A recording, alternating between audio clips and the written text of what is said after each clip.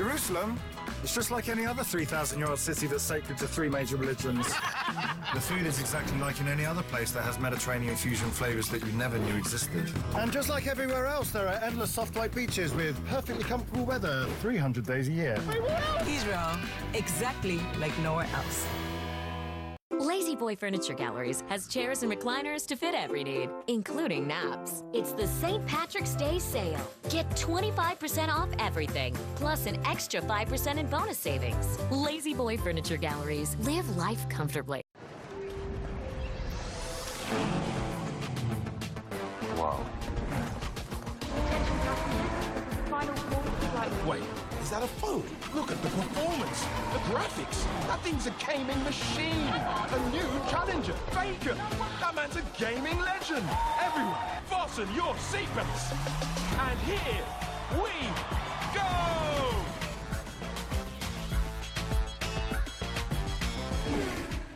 Live from the Oscars, Sunday at 1 p.m. on KTLA 5.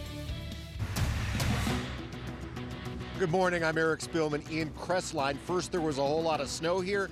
Now, over the next day and a half, a bunch of rain. That could create many, many new problems for this community. I'll have a live report coming up. And depending on where you're at, you may be seeing rain as well this morning. I'm Carlos Herrera live in Drive 5. We're in Studio City. We'll give you a look on the road conditions this morning coming up. Good morning. I'm Frank Buckley. Silver lining to all of the rain we've been experiencing this winter. More sections of California have been declared completely drought free. Good morning. I'm Jessica Holmes. Another stronger than expected jobs report released today, but it may not be enough to sway the Federal Reserve into taking more action against inflation. We'll explain why. I'm Sam Rubin. New here at 10 o'clock. The stage managers have amazing tea. That was really good. Uh, Ted Lasso.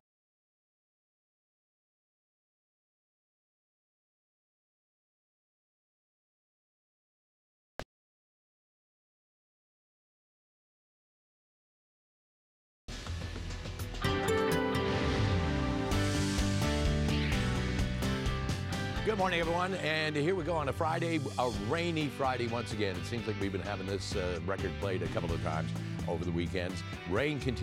The lens uh, pretty wet from our Mount Wilson camera. Coastal areas 57. Downtown Los Angeles uh, expected high 59, 58 in the San Fernando Valley. Some of these temperatures not warming up too much currently in uh, Orange County inland 56. Expected high of only 57.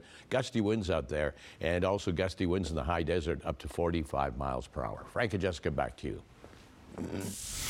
Noon our 10 o'clock hour, President Biden has just approved an emergency declaration for our state, ordering federal aid to supplement state and local storm relief efforts. The extra help comes amid new concerns in our local mountains, this time involving the possibility of flooding. KTLA's Eric Spillman is live in Crestline with more on that. Eric, good morning. Good morning, Jessica. Good morning, Frank. Yeah, this place just can't catch a break. First, we had snow a couple of weeks ago, uh, a blizzard, and now we've got rain. Light rain falling here, more to come. Here's what the problem is. See that shop across the way? That's a tire shop. You see what happened to the roof there and the awning in front. Because of the heavy snow from the initial storm, that collapsed and the front part came crashing down. The, the weight of the snow caused it to cave in. Well, now that problem potentially could get a lot worse because of the rain. Take a look down the street here, and you see that there's still a lot of snow on some of these rooftops. Now we have rain falling, and an inch and a half more is forecast to be falling here over the next 24 hours or so. That mixes with the snow already on the rooftops. It becomes heavier, and then you have more cave ins potentially.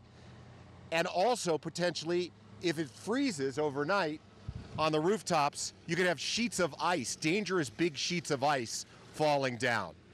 This is happening in a community where folks, many folks, are still trapped or isolated in their homes from the initial snowstorm. They're snowed in. Let me show you some pictures of a woman named Lori. She has been isolated in her home here in Crestline for the last 19 days. Her home surrounded by a massive berm of, of snow. She can't get help, can't get people to plow it. She's uh, she has no heat. Uh, she was out of breath when we spoke to her. She had to walk up the hill in order to talk to us. Listen to what she had to say. So you've been stuck in there, huh? Pretty much.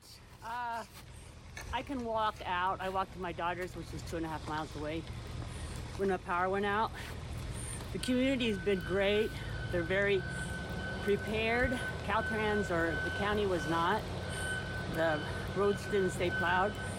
So the Edison couldn't get through. The power went out here for six days. I heard an elderly woman right up here passed away because she couldn't get out of her house. How's it been for you? It's been rough, but